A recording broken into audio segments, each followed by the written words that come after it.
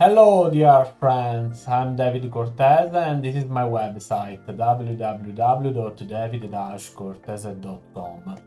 In this video I want to show you the concepts of limit, derivative and integral. So let's start.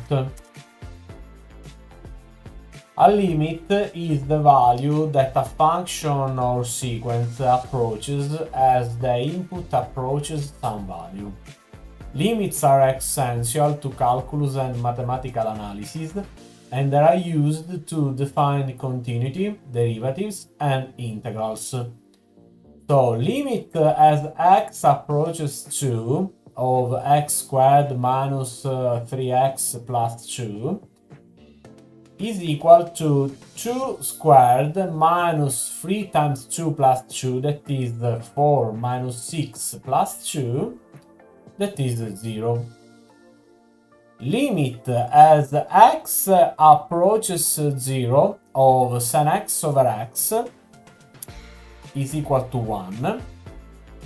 Limit of as x approaches infinity of uh, 1 over x is equal to 0. Limit uh, as x approaches to 1 plus uh, of 1 over x minus 1 is equal to plus infinity.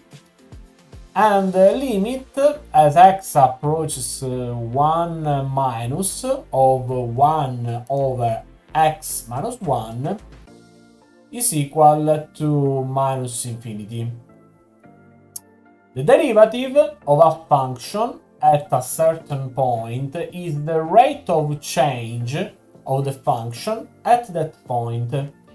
It can be interpreted as the slope of the tangent line to the graph of the function at that point, or as the instantaneous rate of change of the function. F of x equals c implies f first of x equals 0. So the derivative of a constant is uh, always 0.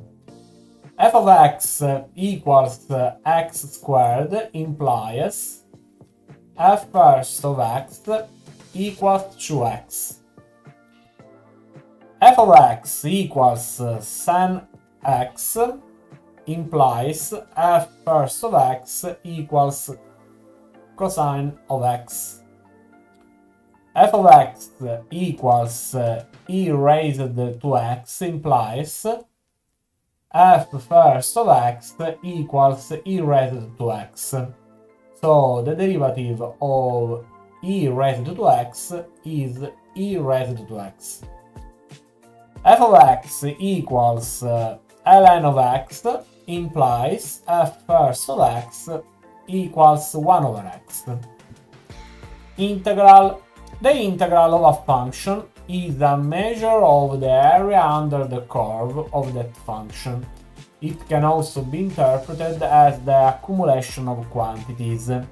So integral of a dx equals ax plus c integral of x squared dx equals 1 over 3 x raised to 3 plus c.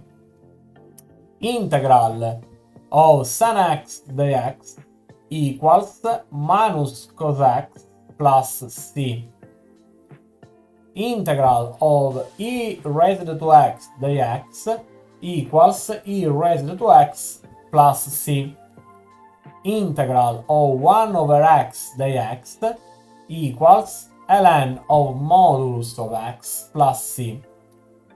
The relationship between these three concepts is encapsulated in the fundamental theorem of calculus, which states that differentiation and integration are inverse processes.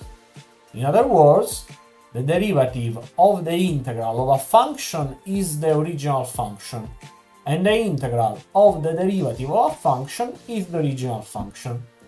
So for now is everything, thank you for watching, see you later, bye bye!